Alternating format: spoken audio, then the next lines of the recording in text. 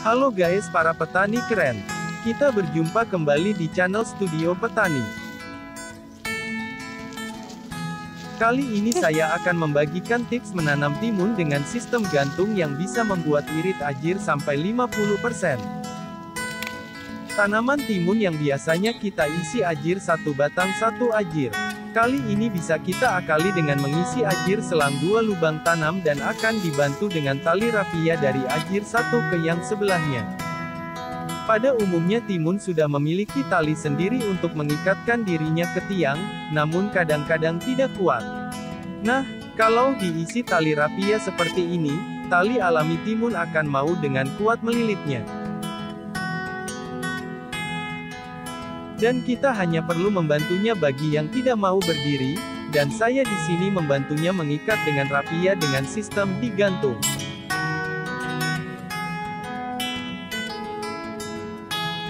Dan, hanya ikatan pertama saja yang perlu kita bantu, untuk selanjutnya dia akan mengikatkan talinya sendiri ke tali berikutnya.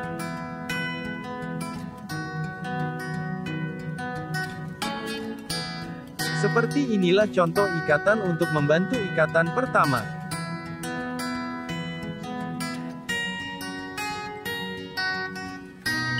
Kemudian untuk selanjutnya, tali alami akan melilit tali rapia berikutnya.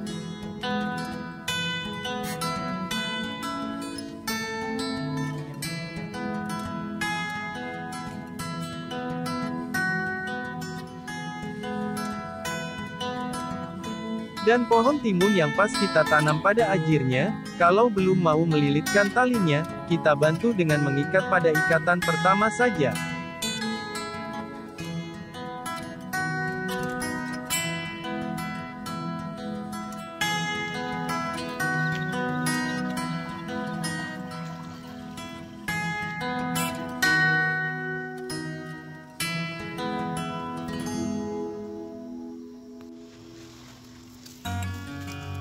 Yang masih memerlukan bantuan dari tali tidak terlalu banyak. Karena rata-rata sudah bisa melilitkan tali alaminya sendiri.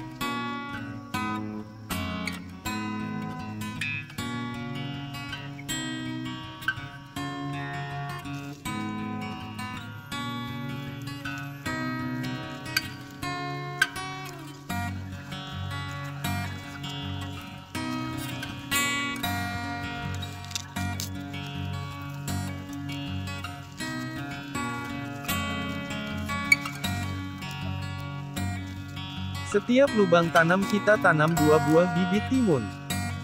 Ini masih dalam proses membantu dengan tali, kali ini saya dibantu oleh bocil yang sedang belajar jadi petani.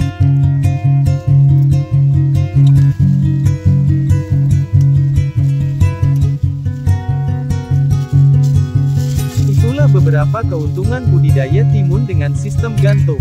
Kita irit ajir atau tiang dan tenaga pengikatan. Baiklah nanti akan saya cek kembali setelah tanaman ini berbuah, apakah talinya kuat.